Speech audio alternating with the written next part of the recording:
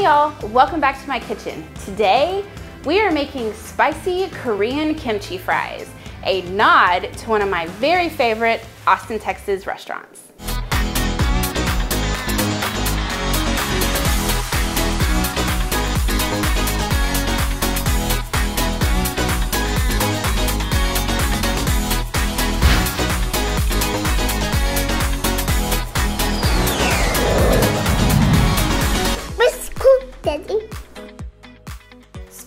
Korean pork kimchi fries. You guys, this is a delicious recipe and it's a nod to one of my favorite Austin restaurants, which I'll kind of explain to you guys as we go along here today. But first, we've got our marinated pork here, but let's show you how we got the marinated pork. So the marinade. Now, excuse my shirt, I spilled water, guys. And we're casual today, so I'm not gonna change my clothes. I'm gonna do the marinade for the pork for our kimchi fries. Now this is super easy. Y'all, it's just crazy easy. So, get yourself a baggie. This is a piece of pork steak that I got from our local market. It still has the bone in and it's fairly well marbled. Now, this is totally up to you guys what cut of pork you choose to use. I kind of like it to have a little fat because I feel like that really lends to the flavor. But Jimmy doesn't care for that. So I feel like this is the kind of the best of the both worlds. So, and it was on sale. Just get whatever on sale. Doesn't matter. So I'm gonna take my piece of pork. I'm gonna drop it in here. Lay it flat to start. Wash my hands. Okay, we got our pork in here, kind of flat. Now I've got all my ingredients here in front of me. I'm gonna go through here real quick and let you guys know what we're gonna be using. These are all in the Asian ingredients video that I did. So none of this is new or weird. First, we've got brown sugar. Use brown sugar. Garlic. I cheated. I used the already minced garlic. I didn't do fresh garlic cloves. Honestly, it's easier. And for a marinade, it just makes more sense. We have some sesame oil, soy sauce, gochujang. Now, or red pepper paste however you wanna say it. I'm gonna put all of it together here and just whisk it up. So we're just literally gonna dump. Sugar first. Put in my garlic. This is so good, y'all. I tested and tested and tested this recipe. And this, I feel like, was the best. I didn't want a syrupy, sweet kind of bulgogi for this. I wanted something a little more, I don't know, neutral might be a good word and gochujang. This is so messy. It is a true paste. When you work with gochujang, it is a paste. That's why you need your whisk because that's the only way it's really gonna break down. The salt and the soy sauce will help you with that. But that's why you need your spatula and a little tiny baby whisk. Okay, I'm just gonna mix. Really what I'm looking for is that paste to be completely dissolved. Scrape your edges.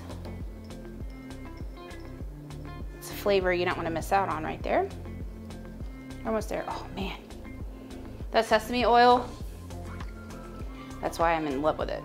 It gives such a good rich smell and flavor to your food. All right, I think we're good here. I don't have big chunks or anything. All right, so now we're just gonna dump this in to our baggie. I try to be conscientious of like save the planet, but a plastic baggie for me just does better with some of this. So that's what I use. Shake, shake, shake. All right. Seal it up. You don't want a lot of air in there, so try to get as much air out as you can. Make sure it's good and tight. Now just shake it around massage the meat a little. Now I like to marinate this overnight. Flat. You can put it on a plate. You can put it in a small like sheet, like a sheet pan. All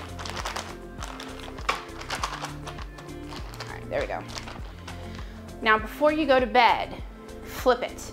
Mess with it just like I just did, massage the meat, pin, you know, mess with it and flip it a couple times but make sure and put it back in there until the morning. Now, I tend to do this the afternoon of the day before. So it has the afternoon. If I think about it, I'll come mess with it. And then right before I go to bed, I'll mess with it again, get up in the morning, mess with it again, and then cook it that afternoon. So it really, it tenderizes your meat, your soy sauce, and it gives it such a delicious flavor. So into the refrigerator, this is going to go. We'll see you guys tomorrow for the rest of the recipe.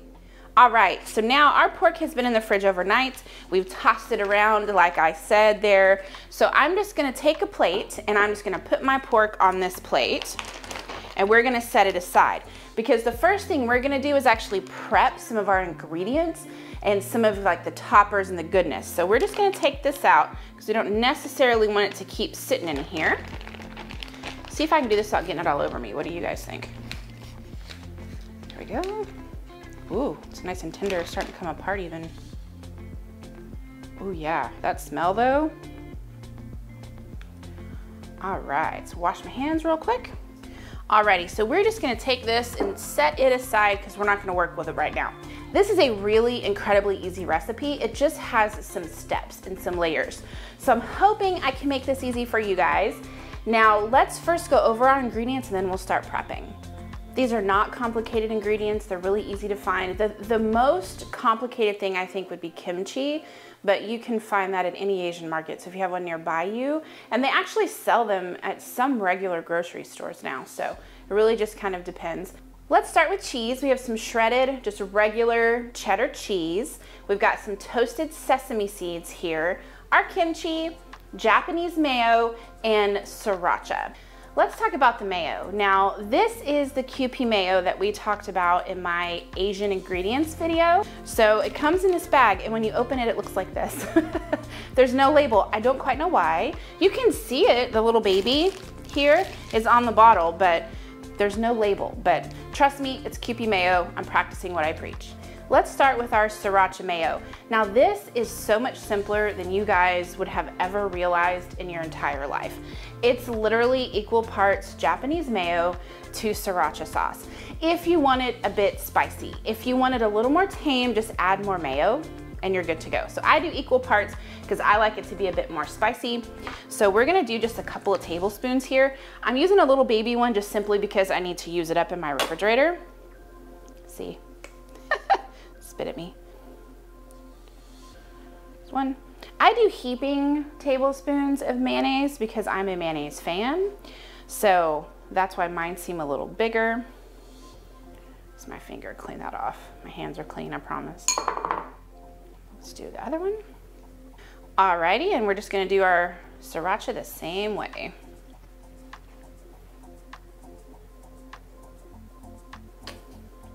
I never knew this was that simple. I always thought there had to be something more to a good sriracha mayo, but it's really not. It's just equal parts. You can get crazy with it. You can add sesame oil if you want to. I've seen some people add paprika and some of that, but I'm a purist about it. I just do it this way. Take your baby whisk and just whisk it up. And it starts to turn the color that you would expect it to turn here. All right, there we go. Sriracha mayo, done. Let's chop some veggies. So I've got an entire bunch of green onions here. I'm gonna use these just to kind of top off our fries. So I'm gonna go ahead and kind of cut the tops off of these.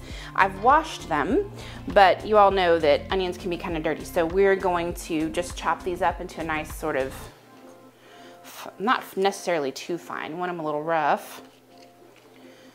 Always cut off this green part in the back this may be a good opportunity to tell you guys kind of how I came across this particular company. Now, what's funny about this is you guys may or may not know, I planned weddings professionally for about six years when I lived in Austin. And they often had events when I was there to promote different things, to make different, you know, food trucks, food trucks and companies and catering stuff sort of known to people like us who planned weddings and helped their clients find what they wanted. I attended an event at a new venue and they had Chi'lantro there and they were serving these kimchi fries. And I thought, how genius is something like that. I had never seen anything like that before. It's kind of like a Mexican Korean fusion restaurant. And I thought it was just the coolest thing. So I actually started working with them. They, they had their food truck that they would actually take to weddings, which was really neat and fun for guests to be able to go like during a cocktail hour or something like that and be able to go to the actual food truck and get their appetizers. In fact, two really good friends of mine did, I did their wedding. That's how I met them and we became really good friends. And they worked with Chi'lantro for their, for their event too. The sad thing is, is I actually don't live in Austin anymore. And so I'm not able to get my hands on this nearly as much as I did before. I was so excited to see them go from like food truck to brick and mortar. And since then they've gotten tons of new locations and they were even on Shark Tank which is awesome. So it's fun to kind of see a company that you worked with for a while to help people with their weddings become so successful and to grow. And so I thought this would be a really fun recipe to share with you guys because who doesn't love kimchi and french fries?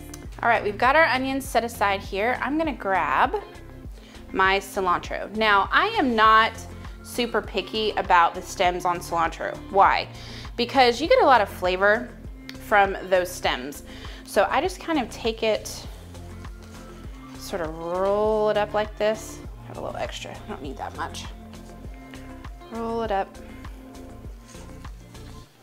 like this, best you can, and then just give it a good rough chop.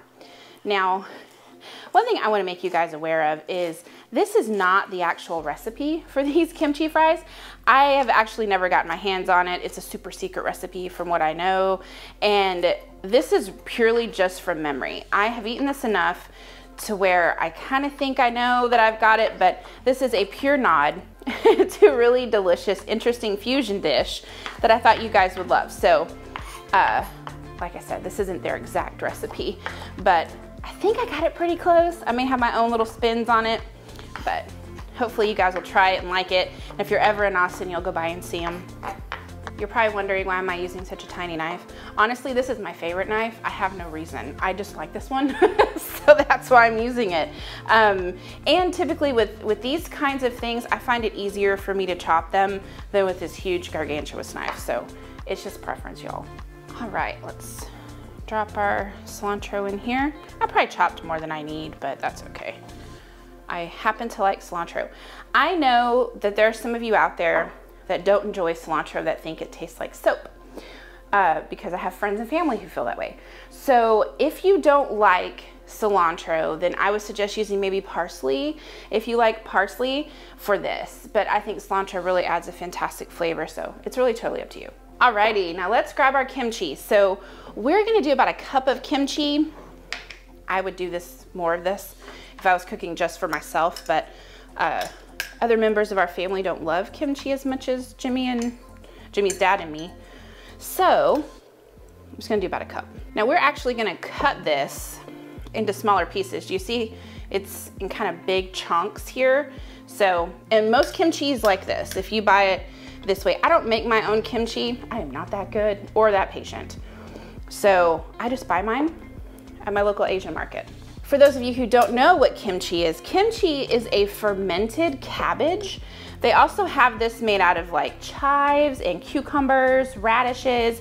They have a lot of different kinds of kimchi, but basically what it is, is it's the red pepper flakes that I showed you guys in my video with all the Asian ingredients. It's that, it's salt and sesame oil and just the most deliciousness. You want a bit of that liquid in the bottom, but it's just fermented for a long period of time. So the longer it stays in your fridge, the better it gets. So that's all it is. This is the Napa cabbage one, just because it's more traditional. We're just gonna give this a rough chop, y'all. Take it, dump it out. I'm just gonna put it right back into this container. This is totally up to you guys how you wanna cut this, but I like them in kind of strips. I cut it one way this direction. Kind of looks like a massacre, doesn't it? and then kind of turn it, do it this way. Kimchi is a pretty acquired taste, I will say. Not everybody loves kimchi. I happen to think it's fantastic, but I think it's really, it's up to y'all. Give it a try. Go, if you can go to a Korean restaurant, give it a good, good taste. They always serve it next to anything. It's really, really good. So I'm one of those kind of people though that like I'll eat this with just chopsticks straight out of the container. Grosses Jimmy out, but I just love it. His dad will actually do the same thing. He spent time in Korea when he was in the military, so he gets it. We've got all of our toppings and goodness prepared. Now let's talk about your fries. Now I'm using actual potatoes. You could buy the frozen french fries if that's what you wanted to do. Throw them in your oven, throw them in some oil and fry them up, or throw them in an air fryer. I personally like it this way just because we're obsessed with our air fryer. We bought this on Amazon for less than $75 and it's, in Jimmy's words, a real workhorse. Like it's been really good. It's so good. In fact, we bought two of them so we can have them going at the same time. So all we've done here is we've just taken two russet potatoes and we've cut them into fries and soaked them for an hour. Now you want to do this because what that does is it pulls a lot of that starch out of them and it'll make them crispier faster when you put them in the air fryer. So what we're gonna do now is I'm gonna drain the water and then we're gonna get ready to put them in the air fryer. I always preheat my air fryer because it's it just, you want that sizzle when you put things on inside of it. So take out my drawer here. It's gonna be hot. Now I have some spray. You are not supposed to put spray from these kinds of bottles in an air fryer. Why am I doing it?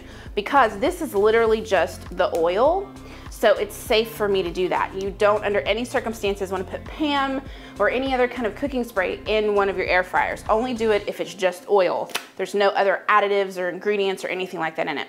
This is actually sesame oil one. So just gonna spray. And this is just so it doesn't stick. Okay, so we're good there. We're gonna take our potatoes and just dump them in.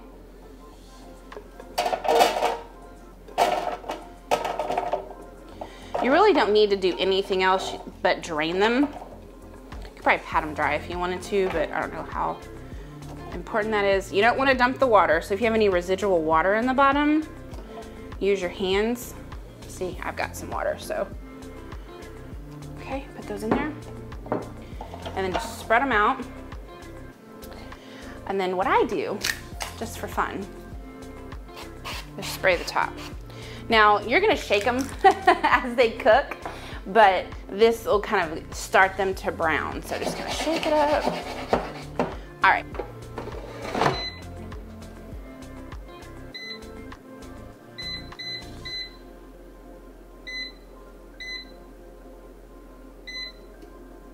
My air fryer is set on 400 degrees and it's gonna go for 15 minutes. Hopefully you guys can still hear me okay. I'm gonna do this even though my air fryer is running just because it will save us some time for us to get this all done for you. So I'm gonna take my piece of pork and I'm just gonna cut it into bite-sized pieces. Now this is a pork shoulder steak. So it does have a little bit of a bone in it. So I'm just gonna start right here and I'm just gonna cut that bone out. Try to find the end of your bone here and then you can just cut it. Now from here, I'm just gonna cut it in small pieces, little bite-sized cubes, because that's easier to get on top of your kimchi fries, so. This doesn't have to be super exact. This smells amazing, by the way. Oh my gosh. Uh, just gonna put it right back in this little bowl. Not gonna waste dishes around here. I'm using this particular cut of pork because I like that it has a little fat on it. That fat renders a lot of flavor in addition to what you've already marinated it in. So that's why I like this cut. If you want a different cut of pork, by all means go for it. You can make these pieces as big or as small as you want them to be. You can also cook this on the grill. I tested it that way because I wasn't sure which way I would like this better. And it works really well on the grill too. So if any of you are big grillers, give it a shot that way too. I'm gonna share with you guys a little bit of the art of the air fryer. I have one dirty hand and one clean hand, so we're gonna multitask. Now, every five minutes or so, you wanna take it and you wanna shake it. So pull it out. You'll start to see them get brown. Shake it like that, kind of toss them. Put them right back in there. Cool. Now, if you need to add time to your air fryer, it's super, super easy if they're not as crispy as you want them. That's where preference kind of comes into play a little bit. We have it a little full, so I will probably end up adding another five minutes or so to it to let it end up going for about 20. That also gives me time to cook this pork once I get it all chopped up, so it'll work out just perfect, I think. We're gonna put our burner on about medium-high heat. Start to warm up, and we're gonna dump all of our pork in our pan.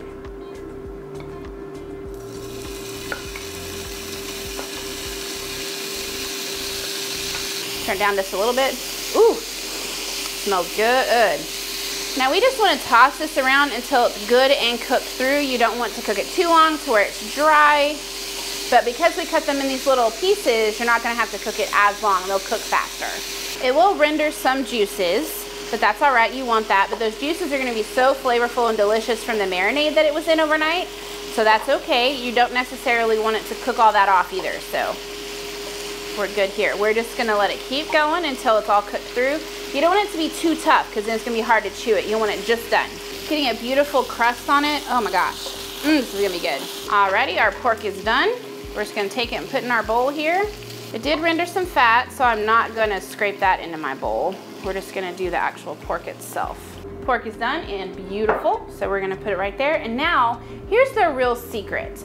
They caramelize the kimchi genius. So what we're gonna do, we're gonna turn our trusty thing on here, trusty burner, on about a medium low. That's a total of about 20, 25 minutes for this just because we had it a little full. So that's all right though. So we're gonna put our kimchi here in our pan. You don't need any oil in here because it's got the juices already, so that'll keep it from sticking to your pan. You want those juices to cook off and this to start to caramelize. Let me turn my heat up a bit. Like I said, y'all, this is not a difficult recipe. It's really simple. It just has lots of steps. You can decide how caramelized you want this to be. Complete preference here, you guys. I like mine to have a little bit of good caramelization on it, so I let mine go a little longer. Our fries are looking pretty good. They've got about three minutes left on them, so we're gonna take them out when they beep and they're done. My kimchi has had all of the liquid cook out of it, and now it's starting to kind of get caramely and yummy. So we're gonna let this go a couple more minutes itself. Our kimchi's good. It's nice and warm. It's not super crusty and caramelizing, but it's got that, that good look. So we're gonna put it in our bowl here, let our fries finish, and we will put it all together. All right, our fries are done. Ooh. Take these out. You can, if you would like to, sprinkle a bit of salt on them when they're still hot. I don't just because I, I get enough salt from the kimchi fries. So that's completely up to you. Now we're gonna assemble. The first thing to do is to sprinkle some cheese on top here because that cheese will start to melt because your fries are still hot. So sprinkle your shredded cheddar. What you'll see on the recipe for this, you guys, is your toppings are purely based on taste. How much you want, completely up to you guys. Now we're gonna do our kimchi. So we're just gonna take and we're just gonna spread our kimchi out all over our fries. And because I'm doing one big platter, you guys, I'm just gonna do all of it. If I was making separate plates, I would just split this up. This really feeds two people for like a dinner. But if you wanted to double or triple it, you could obviously cook it for quite a few more. Any salty bite you get from this kimchi will go into your fries, which is why I think the second step is a good one to go ahead and put your kimchi on here. Next, we've got our pork. Our pork came out so good. Got a beautiful little caramelization on it. Flavor's really good. It's sweet, it's not spicy. I put a little bit of gochujang in it that you saw, but it doesn't come through as too hot. You're gonna get a good kick from your spicy mayo, so you don't wanna make this too overpowering. For everybody else, you're also not gonna use this entire bit of pork. You'll probably have some left over. From here, you get to dress it with all the fun. So we've got our onions, we've got our cilantro. I think the, the spicy mayo goes really well next. So I'm just gonna take my spoon and just sprinkle it like this all over the top. If You have a little extra, so if you wanna put your greens on top and then more spicy mayo, you can. So we're gonna do some green onion. The colors on this are just fabulous and the flavor that it adds is awesome. We're gonna take some toasted sesame seed, toss those on there, and then just a little teeny bit of cilantro. There you have it, spicy pork kimchi fries. Here we go, y'all finished product. Tell me that doesn't look absolutely beautiful. It's the best part. I get to taste it. Get a bite with all the goodness, some fries, some kimchi, piece of pork, some spicy mayo.